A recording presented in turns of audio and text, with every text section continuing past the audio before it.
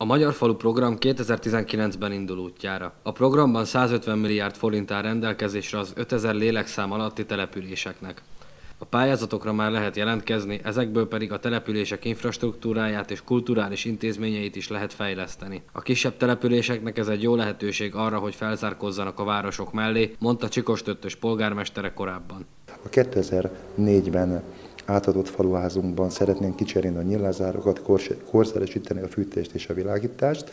Minimális eszközbeszerzés is, ami nagyon fontos, az egész turisztikai attrakciónak az üzemeltetését abból a támogatásból kívánjuk megoldani, hiszen 3 millió forint egy fő egész éves foglalkoztatására nyilván részmunkaidőbe kellő fedezetet biztosít.